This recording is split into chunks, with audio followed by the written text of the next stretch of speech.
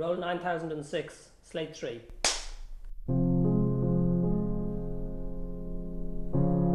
Within secret organizations, there are disputes.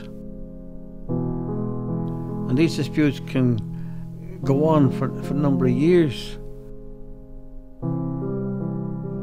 Sean, why were the CIA so interested in you?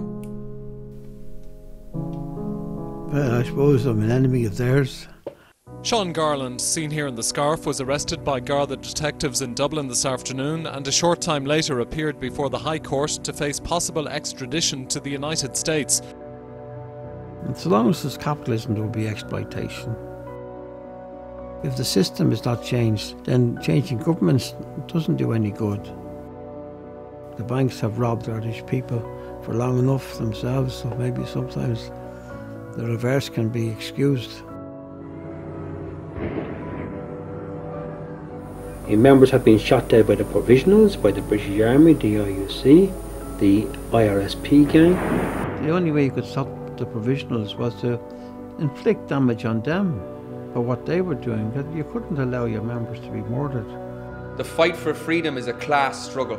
The Republican Army, North and South, must become the army of the people in fact as well as name and we will not shrink from taking whatever action, popular or unpopular, to assist on the road towards revolution. We are making ourselves a political party of the working class who would be determined to establish a democratic, secular, socialist republic.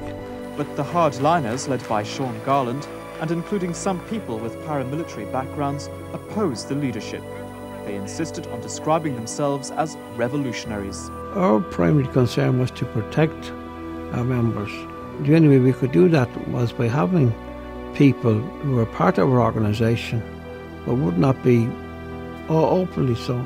The US government claims that the 77 year old was the head of a group it calls the Garland Organization, which, although based here, was sourcing fake US $100 bills from North Korea and selling them on. Betrayal from inside is a very deadly thing.